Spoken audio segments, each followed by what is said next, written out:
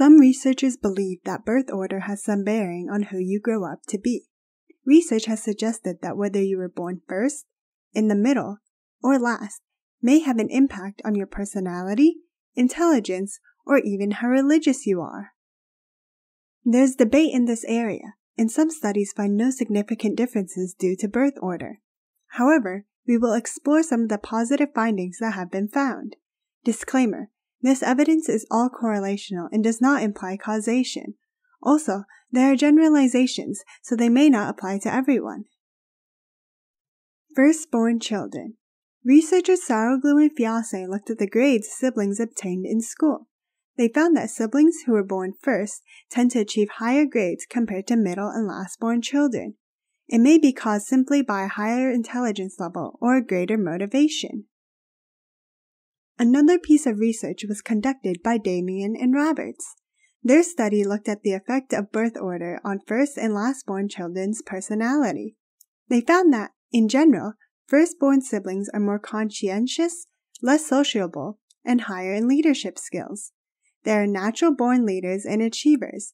They also tend to be more agreeable and less neurotic, which would explain their excellent leadership skills.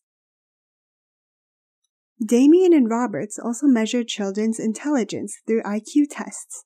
They found that firstborn children seem more intelligent, especially in verbal abilities, as opposed to other parts of intelligence, like math and spatial abilities.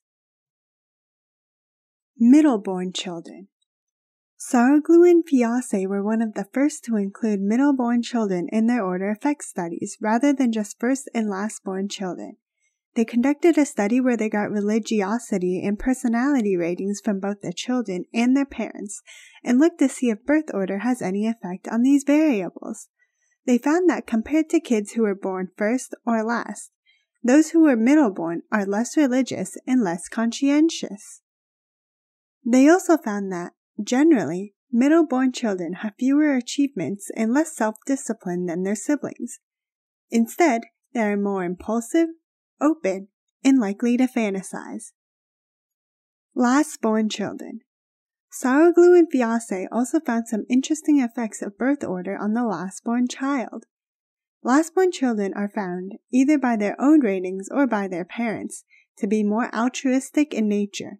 They are also more agreeable, tender minded, and warm, as rated by their parents. Additionally, they tend to be more trustworthy, straightforward, and obedient. So we've covered the effect birth order has on children. But what about those who are the only child their parents have? Does this affect them at all? Xiao, Yao, Li, and Huang looked at this topic and found that those who are only children experience higher life satisfaction than those who have siblings. This study was conducted in China, and so we should be mindful of any cultural differences that may explain the finding. But that aside, it probably makes sense that parents with one child put more time and resources into that child, causing them to have a higher life satisfaction.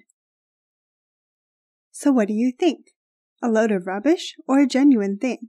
Do the relationships discussed here reflect people you know in real life? Let us know in the comments and let us know what your birth order is and which of the traits fit you. If you enjoyed this content, check out our other social media and don't forget to subscribe. Thanks for watching and have a wonderful day.